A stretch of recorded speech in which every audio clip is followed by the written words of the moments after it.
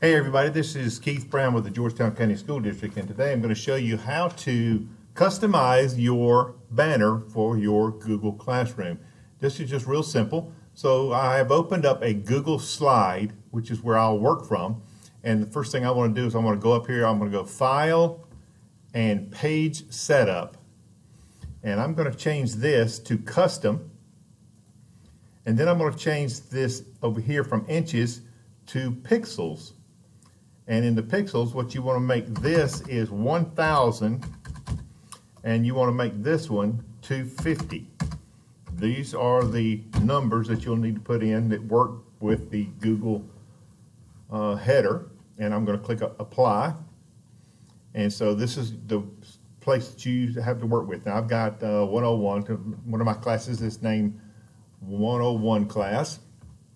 And the, the first thing I think I'll do is I'll go in here and I'm going to add a background. I'll make a background color. Let's see, let's just use this blue and done. Now it makes my zero show up a little bit better. Now I can add different things in here. Um, if I want to copy uh, things that I've already got out there or search the web and put out there, I'm going to add a couple things here. I'm going to put these Google badges on and I'm going to put them on the upper left hand corner because your name of your classroom is going to be right down here.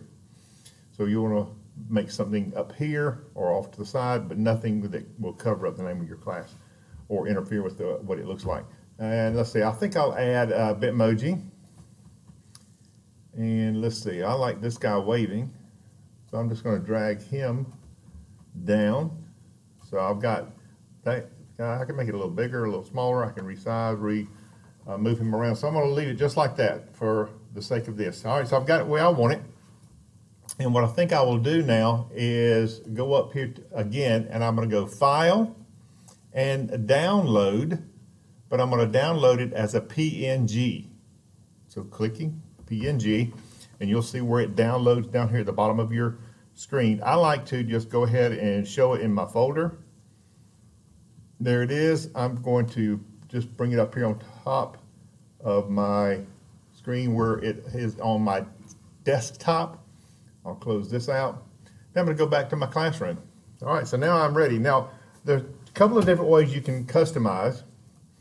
You can customize with selecting a theme that's already here.